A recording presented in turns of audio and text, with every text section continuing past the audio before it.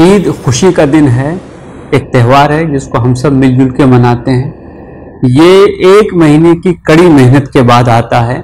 हम अपने नफ्स पे काबू रखते हैं, अपने जज्बात पे काबू रखते हैं और उसके बाद हम उसकी खुशी में खुदा से दुआ करते हैं कि साल भर हमारा ऐसा ही अपने नफ्स पे काबू बाकी रहे। यही काबू अगर हम रखेंगे अपने ऊपर तो मैं समझता हूँ कि समाज में बहुत अमन और शांति रहेगी और हम हक के गवाही देने वाले लोग हो जाएँगे। इसलिए ईद के मौके पे मैं सबको मुबारकबाद देता हूँ और यही अपील करता हूँ कि हम सच्चाई पे डटे रहने वाले लोग हो जाएँ, हम इंसानियत को बरतने वाले लोग हो जाएँ और हम मुल्क और समाज के लिए फ़ायदेमंद लोग साबित हों। ईद मुबारक।